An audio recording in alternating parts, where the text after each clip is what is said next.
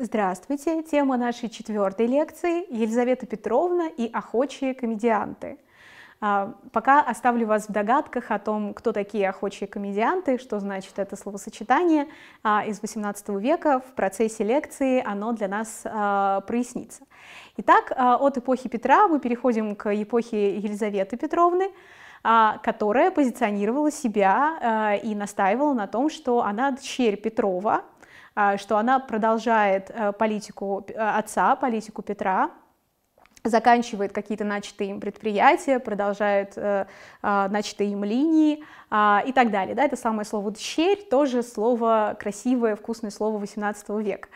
А, и э, помимо того, что Елизавета Петровна, да, вот э, годы ее жизни вы можете видеть, да, значит, 1709-1761, а, помимо того, что Елизавета Петровна позиционирует себя как дщерь Петрова, а, она, конечно же, ее образ представляется в одах, например, да, одном из любимейших жанров этого времени, как такую покровительницу искусств, и вот, например, в строках Ломоносова Э, мы видим это соединение, что она и дочь Петра, и э, значит, замечательная покровительница искусств.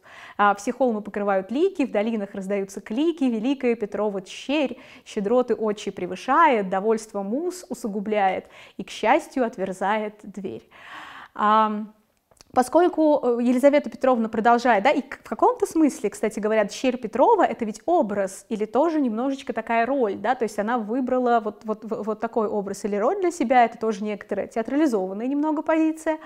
А, конечно, продолжая линии, э, заданные Петром, э, Елизавета Петровна также интересуется и театром. Как мы помним, для Петра, да, в прошлой лекции мы говорили об этом, а, для Петра часть, э, театр – важная часть государственной политики, а, важная часть европеизации э, России по двум причинам. С одной стороны, это некая светская форма досуга, в противоположность такой домостроевской, значит, закрытой, а с другой стороны, собственно, Петр говорил о том, что а на сцене зрители могут увидеть образцы европейской галантности, да, вот этого европейского поведения. Э, ведь каким-то новым способом разговаривать, делать комплименты, держаться, а, даже как-то пластически выстраивать да, вот, э, коммуникацию жестом, а всему этому нужно было где-то учиться, и одной из таких школ жизненного поведения, по мнению Петра, должен был стать э, театр, конечно, жизненного поведения именно европеизированного. А, поэтому Елизавета Петровна продолжает, безусловно, э, значит, э, уделять внимание театру как части такого государственного проекта.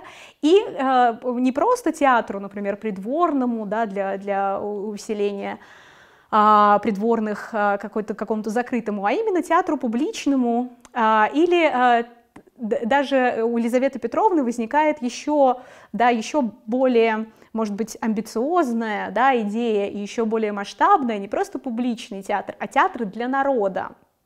А, вот, и, и театр национальный, государственный и, и национальный, именно э, русский театр. Вот эта идея именно русского театра а, Елизаветой Петровной, наверное, формулируется впервые. А, я понимаю, что здесь возникает некоторый парадокс. А, да, театр — это европейская а, какая-то модель, да, вообще.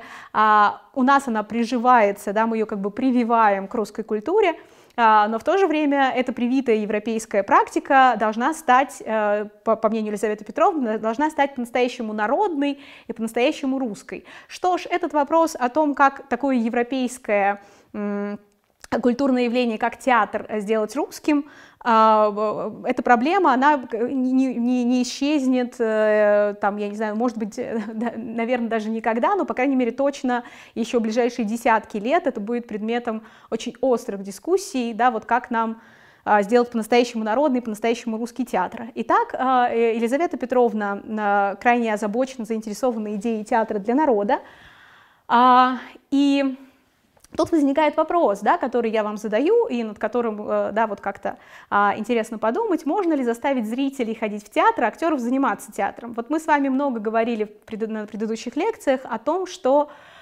все-таки, э, когда театр насаждается сверху, он не, не, не, не пользуется успехом заставить любить театр, заставить ходить в театр, заставить сделать театр частью э, жизни э, все-таки сверху невозможно. Но к середине XVIII века все-таки ситуация несколько меняется. Помимо государственных деятелей, заинтересованных в том, чтобы продвигать при помощи театра некоторые идеи, появляются а, любители, и тут я раскрываю интригу, которая в начале лекции мной была задана, охочие комедианты — это любители, охочие, да, значит, вот, которые по своей воле, а, да, значит, э, по щучьему велению, по моему хотению, вот по своему хотению а, занимаются театром, которых никто не заставляет, да, которые никак государству ничем не обязаны. Вот, появляется любительский театр, появляются эти самые охочие комедианты. А, то есть все-таки а, начинает прорастать театр, да, вот как-то из, из, из самой почвы вот этих любителей.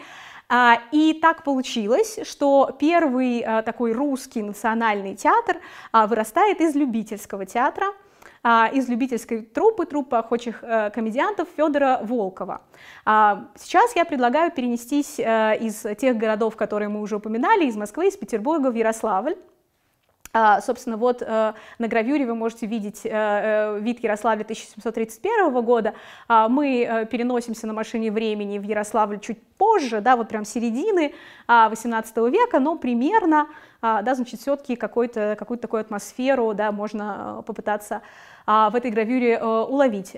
Соответственно, Федор Волков, вот сейчас вы его видите, согласно такому ну, клише или даже некоторому мифу, наверное, да, такой, значит, учредитель первого русского национального театра. О том, почему это в каком-то смысле миф, да, может быть, я тоже а, а пару слов а, далее скажу. А, Федор Волков а, из купеческой семьи, да, значит, его отчим купец Полушкин, а, соответственно, как а, эм, купец, да, он а, располагает некоторыми средствами материальными, да, и поэтому может позволить себе такое дорогое увлечение, как дорогостоящее, как театр. Ведь театр требует и специального помещения, и костюмов для актеров, и реквизита, и освещения, и так далее. И, конечно, вот э, там увлекаться театром на любительском уровне, да, там организовывать театральные представления, может только человек состоятельный, а каковым а, Федор Волков, собственно говоря, и а, являлся. В Ярославле, да, этот молодой человек, тогда еще, да, там вполне себе молодой человек, а в дальнейшем значительнейший и лучший актер, по мнению современников, значит, Федор Волков, который страстно увлечен театром, очень любит его, видел театр европейский, да, значит, знаком с ним как зритель, и хочет практиковать его у себя на родине в Ярославле, он объединяет вокруг себя а, своих а, ровесников, тоже молодых людей, а, а, там, подьячих, некоторых тоже купцов, да, вот такого вот а, социального уровня, а, которые, занимаясь в основное время вот какой-то своей работой такой важной и непосредственной, как, могут свой досуг, свободные часы уделять театральным зрелищам и театральным представлениям. Для этих любительских театральных представлений Евгений Федор Волков выстраивает в Ярославле э, специальное театральное зрелище, между, специальное театральное здание. А, между прочим, а, театральное здание на тысячу мест почти. Это большой вместительный театр, даже по современным меркам, по московским меркам. Это действительно большой э, театр, да, зал на тысячу мест. Это очень серьезно и существенно. А, репертуар, который они играют э, в своем любительском театре в Ярославле, в принципе, вполне соотносится с европейскими тенденциями. Да, например, они играют Мольера, э, правда, отдельное удовольствие и развлечение, э, да, значит, как звучали э, название пьес Мольера вот в переводе XVIII века. Вот, в общем, играют вполне актуальный, да, значит, некоторый европейский репертуар. И э, далее и прекрасно живут в своем Ярославле, показывают там эти представления и э, ни, ни о чем большем не мечтают и не думают. А, но, э, собственно, в самой середине XVIII века в Ярославль а, а, приезжает э, чиновник из Петербурга. Вообще это очень театральный сюжет. Чиновник, который из Петербурга, который куда-то приезжает. Вы понимаете, что я на пьесу «Ревизор» немножко намекаю. Действительно, значит, приезжает в Ярославль чиновник из Петербурга, высокопоставленный, расследовать некоторое дело по акцизам, а, вот, и а, в основное свое время в Ярославле он посвящает своей работе и расследованию этого дела, а э, вечером ему рассказывают о том, что существует такой вот любительский театр, и интересно, да, может быть, было бы посмотреть прийти и посмотреть а, представление. Этот чиновник приходит на представление, а, ему кажется, что тот уровень, который а, предъявляют любители, ярославские любители, это очень достойно. А ему было с чем сравнивать, потому что, несмотря на то, что ни в Петербурге, ни в Москве профессиональной труппы, профессион... ну, актеров, да, которые бы а, играли, и там, это было бы их а, некоторым а, основным делом не было пока еще да, у нас, но были гастролеры, приезжали а, гастролеры из Европы, а, поэтому увидеть из Германии, из Италии в первую очередь, да, увидеть, как устроен театр, что такое актерская игра, какой она должна быть, возможность у да, высокопоставленного сенатского чиновника, она вполне была, а, поэтому ему было с чем сравнивать, он сравнил и решил, что э, это представление вполне достойно. А, он рассказал об этом представлении и об этом театре Елизавете Петровне, и она пригласила Федора Волкова и его сотоварищей а, в Петербург а, и попросила их сыграть представление в Эрмитажном театре в Санкт-Петербурге. Э, и э, то, что они сыграли, честно сказать, несколько разочаровало Елизавету Петровну, хотя она возлагала а, конечно, большие надежды на Федора Волкова, как раз в той связи, что ей хотелось театр народный, театр для народа, театр для людей, конечно, на русском языке, как и ее отцу а, Петру Великому, и ей хотелось, конечно, чтобы вот такой русский театр для русских людей появился, но, к сожалению, тот уровень, который Федор Волков э, и его коллеги представили, э, ее не устроил, они, возможно, они промахнулись несколько с репертуаром, а, взяв э, довольно архаичную, э, э, да, такую а, пьесу русскую Дмитрия Ростовского, на религиозный сюжет, очень старую. В общем, наверное, они хотели как-то выглядеть очень внушительно и православно, вот, но это Елизавету разочаровало, она их отправила учиться. А, значит, она их отправила учиться а, в шляхетный корпус э, просто вот э, а, поднимать общий культурный уровень. Федор, Федор Волков, э, его брат, да, значит, и в будущем ведущий актер эпохи Иван Дмитриевский, учится в Петербурге, да, значит, как-то вот поднимают свой культурный уровень, а потом после этого уже, да, значит, Елизавета Петровна решает, что вот теперь они, как образованные люди, могут действительно а, заниматься настоящим, настоящим нестыдным по европейским а, а, меркам э, театром.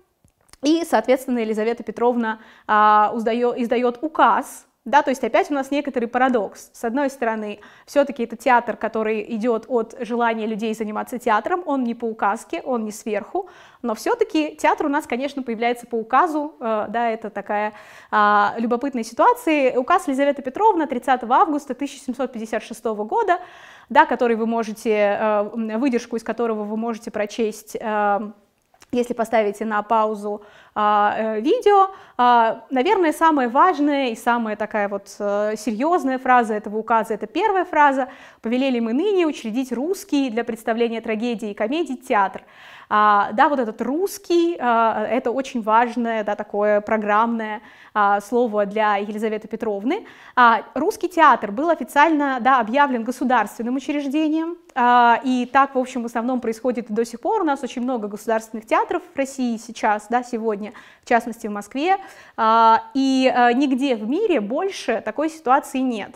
Да, то есть вот этот государственный репертуарный театр — это чисто русская культура явления, а, и да, вот со времен Елизаветы Петровны оказывается это так, да, потому что в других странах а, государственных театров очень мало, да, совсем, вот прям несколько, да, у нас только в Москве несколько сотен, а, значит, да, а в других странах там вообще вот считанные, да, эти самые государственные театры, а все остальное это частные да, какие-то инициативы и так далее. А у нас театр сразу, да, вот по первому же указу, русский театр официально государственное учреждение, расходы на содержание были э, внесены в росписи государственных расходов, то есть бюджет, и актеры, да, которых э, наняли для работы в этом театре, а, получили статус, ну, условно говоря, госслужащих, то есть они даже пенсию получали, да, значит, э, после, кстати говоря, не так уж и многих лет в театре, а, да, там после 10 лет в театре они могли рас, рассчитывать на пенсию от государства.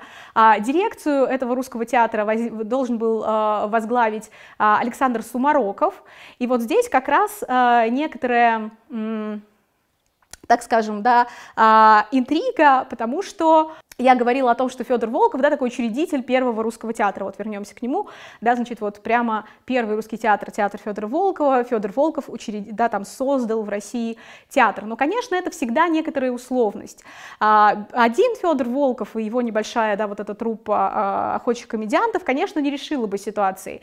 Дело в том, что к тому моменту, да, когда Елизавета уздает свой указ, кроме Федора Волкова и этих охотчих комедиантов, у нас, наконец, появился первый драматург, который пишет не на религиозные религиозные, а на светские темы, а, да, который пишет светские европейского типа пьесы. Он первый, он вот только появился, и его зовут Александр Сумароков. Собственно, ему, да, и поручили а, управлять, а, а, да, значит, стать директором первого вот этого русского для представления трагедии и комедии театра. Впрочем, а, поэт и драматург Александр Сумароков очень страдал от этой своей должности, и через несколько лет после того, как был назначен на эту должность, писал о том, что ничего никому, кроме бедствий, этот русский театр не, не принес, потому что никогда проблемы с помещением, с организацией, да, вот чисто какие-то административные, очень тяжело, а, вот, в общем, значит, Александр Сумароков очень страдал, но тем не менее он наш первый драматург. Не было бы драматурга, какой мог бы быть наш русский театр без русской драматургии? Соответственно, да, конечно, Федор Волков важен, но и Сумароков важен не меньше. А, кроме того, а, собственно, в этом самом шляхетном корпусе, в котором а, учился и Сумароков, и в который отправила учиться э, Елизавета Федора Волкова, его брата, да, там, Дмитриевского и некоторых других, а, там был, была такая любительская тоже традиция как бы такого вот театра университетского.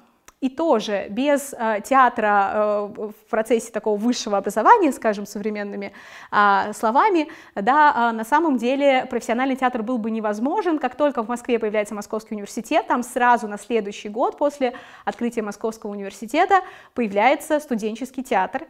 А часть э, студентов, которые занимались там, э, переходят в профессиональные актеры. Да, то есть еще как бы вот важным таким кирпичиком да, в это здание русского театра э, э, становится, собственно, такой театр э, университетский.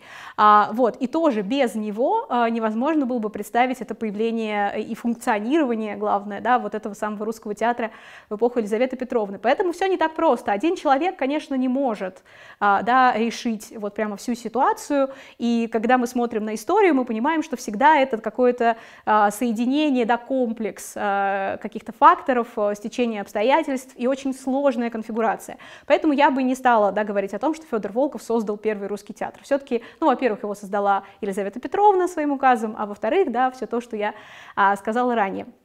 Скажу еще пару слов о том, а, собственно, о самом Федоре Волкове, о его а, личности, а, которая, по-видимому, была незаурядной, но, к сожалению, он прожил немногим более 30 лет. Опять вспоминаем про «Игру престолов» и неожиданные повороты сюжета. Волков мог бы, как театральный деятель и как актер, да, вот вы можете на слайде видеть, собственно, как о нем высоко отзываются современники, вам хорошо известные, да, значит, э, собственно, и там Гаврил Романович Державин, Денис Фан Визин, да, значит, как они, как они его э, э, превозносят.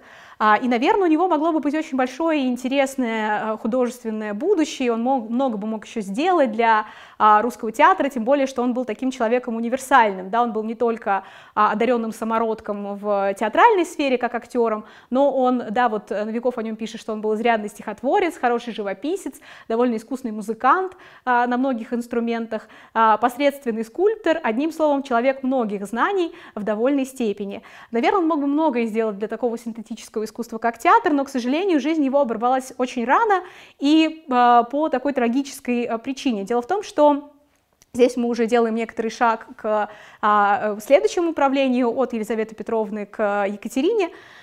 А, а, Федор Волков а, организовывал и там современным языком, скажем, режиссировал а, большой маскарад а, к годовщине коронации Екатерины. А, и э, это должно было быть огромное да, городское такое зрелище, в котором весь город превращался бы в театр, да, а все горожане превращались бы в актеров и участников.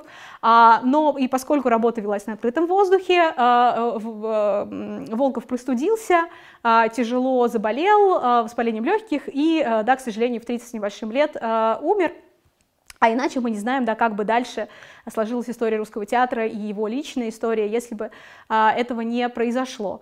А, и, э, но несмотря на то, что не хотелось бы заканчивать на такой трагической ноте, а, несмотря на то, что, да, и судьба Волкова была, а, оказалась такой трагической, и Сумароков, а, да, наш первый драматург и первый директор а, государственных театров, а, так вот драматично описывает первые годы существования русского для представления трагедии и комедий, а, да, театра, тем не менее, а, произошел какой-то, ну, такой, да, вот поворот, парадигмальный сдвиг, наконец-то, да, во-первых, появились люди, которые не по указке хотят заниматься театром, а, появились эти самые охочие комедианты, и, наконец, у нас появляется и драматургия на русском языке, и, э, да, общедоступный э, театр, э, в городском пространстве, ориенти... театр для народа, как хотела этого Елизавета Петровна. А, поэтому, конечно, с царствованием Елизаветы Петровны связаны важнейшие события и в русской истории вообще, и в истории русского театра, а, переоценить которые трудно. И после рассказа да, об этих событиях, которые произошли в, во время царствования Елизаветы Петровны, я вам по традиции э, предлагаю несколько вопросов. А, первый, да, почему для Елизаветы Петровны театр был приоритетной темой, да, почему она столько внимания ему уделяла. Э, и второй вопрос. Как вы считаете, Федора Волкова можно назвать любителем или профессионалом театрального искусства? Да, потому что с одной стороны мы говорим охочие комедианты, да, он вроде бы любитель, а с другой стороны мы говорим первый профессиональный театр, да, учредитель первого театра а, так все-таки любитель или профессионал, да, как, как его правильнее, на ваш взгляд, было бы определить, категоризировать. А, нам будет очень интересно прочесть ответы, ваши ответы на эти вопросы а, в комментариях к этому видео. А, большое спасибо за внимание.